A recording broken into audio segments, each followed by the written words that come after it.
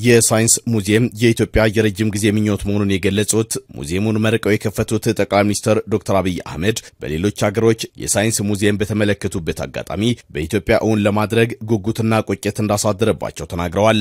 አሁን ላይ ህልማቸው እውን ሆኖ ሁለገብና አስደናቂ የሳይንስ ሙዚየምን በአዲስ አበባ መገንባቱን ገልጿል።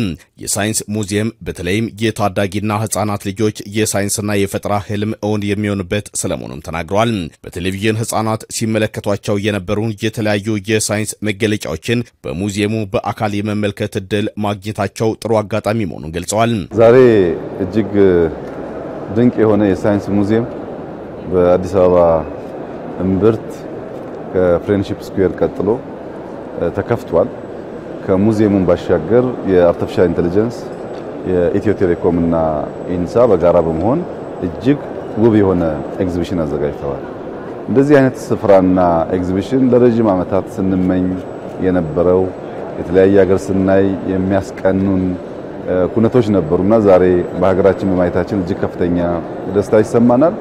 ዋናው መልእክቴ ይህ ስፍራ የልጆቻችን ስፍራ ነው።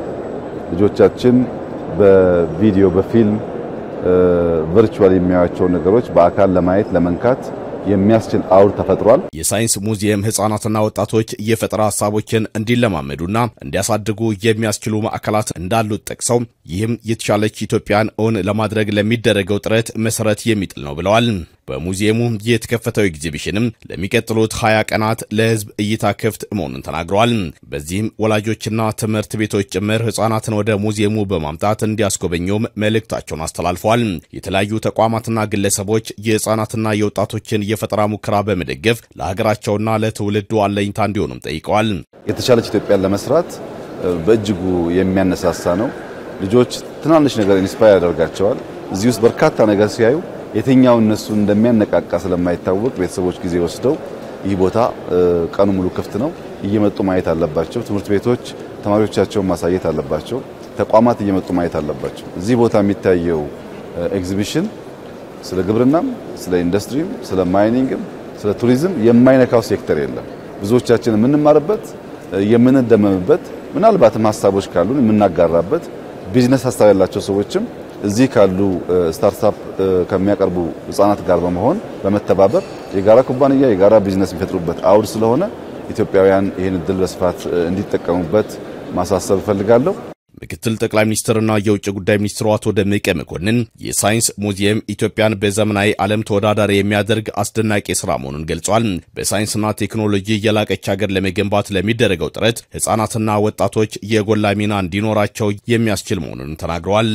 በዚህ ዘመን የበለጠ ተወዳዳሪ ለመሆን መጪው ትውልድ አገሩን የበለጠ ለማሳደግ ለመለወጥ፣ በዓለም ላይ ተወዳዳሪ ለመሆን እንዲህ አይነት የሳይንስ ሙዚየም ከሁሉም በላይ ትልቅ ሀብት ነው።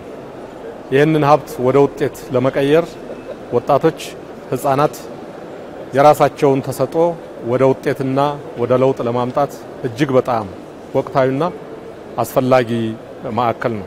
ይህንን የተዘጋጀ የቴክኖሎጂና የእውቀት ማዕድ ለመጠቀም ሁላችሁም ተጠቀሙበት፣ ተዘጋጁ። የአዲስ አበባ ከተማ አስተዳደር ከንቲባ አዳነች አቤቤ የሙዚየሙ መገንባት ለከተማዋ ውበትን እንደዚሁም ለትምህርት ተቋማትና አጠቃላይ ወጣቶች እውቀትን የሚያጎናጽፍ መሆኑን ተናግሯል። አዲስ አበባን በሁሉም ዘርፍ smart city ለማድረግ የተጀመረውን እቅድ እውን ለማድረግም የላቀ ፋይዳ ይኖረዋልም ያሉት ይህን የመሰለ ሳይንስ ሙዚየም በከተማችን መገንባቱ ለከተማው አንድ ትልቅ ውበትን የሚጨምር ነው። ከተማችንን smart city እናደርጋታለን ብለን ግብ አስቀምጠን እየሰራን ያለ ነው። smart city ለማድረግ የቴክኖሎጂ እድገት፣ የቴክኖሎጂ ፍልስፍናው፣ የቴክኖሎጂ አጠቃቀማችን እጅግ እያደገ እየላቀ መሄድ ይገባዋል። ይሄ ለእኛ ትልቅ ብስራት ነው።